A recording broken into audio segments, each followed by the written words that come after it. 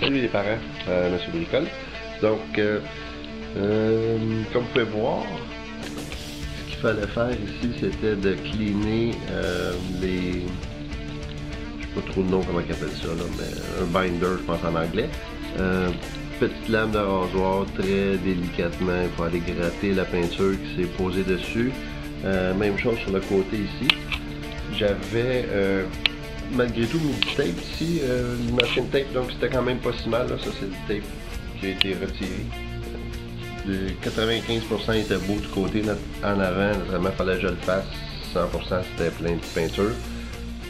Un job d'à peu près euh, une heure et demie à faire tout le contour ici, 1 mm d'épaisseur. J'ai fait quelques petits touch-ups à la fin. Je pense que le résultat est relativement bon. Euh, ça donne un beau petit fini blanc.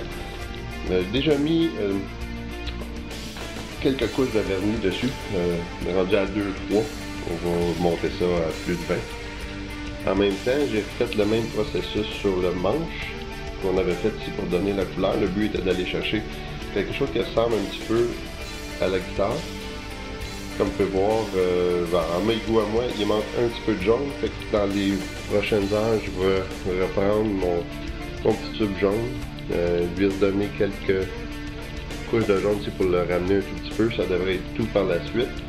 Euh, éventuellement, ensuite, on va euh, s'attaquer au logo. Euh, J'ai imprimé mes petites feuilles de logo qui sont déjà prêtes à les poser. Mais pas tout à fait prêtes, je vous montrer le processus par la suite.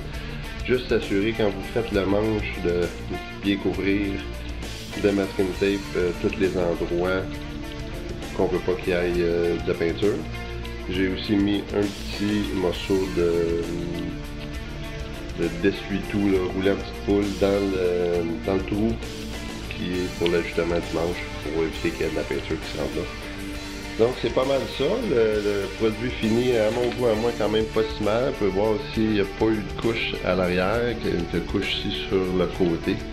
Euh, donc on a quand même, euh, je pense, une belle couleur de, de guitare qu'on est en train de finir avec un polyuréthane à base d'eau euh, de la marque Minwax qui sèche relativement vite. La compagnie dit qu'on peut faire une couche aux 3 heures.